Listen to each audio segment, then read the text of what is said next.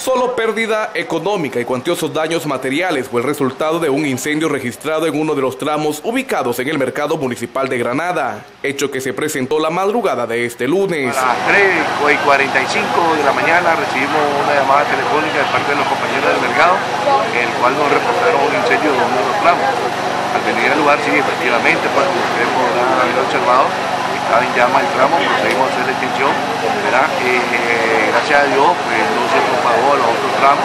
Gracias a la oportuna actuación de los bomberos, el incendio no se propagó a otros tramos. Estamos impactadas, la pérdida fue millonaria, debemos donde quiera.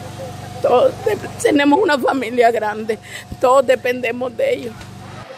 Por su parte, el gobierno sandinista se hizo presente para darle acompañamiento solidario a los afectados. Que todo, como dicen, eh, demostrar la fraternidad que existe, el orden. Usted puede ver que aquí hay mucho orden, mucha disciplina, que la gente está tranquila. Estamos confiando en Dios y en nuestro buen gobierno. Eh, primeramente vamos a ver, vamos a tratar de salir del siniestro para luego vamos a ver cómo se va a poder apoyar. Pero sí va a haber un apoyo para... Ah, claro que sí, nuestro gobierno de reconciliación y unidad nacional, ustedes saben de que no desampara a, no, a, a nosotros los comerciantes ni a nadie del pueblo. Desde Granada informó para ustedes Ulises Busto Chávez.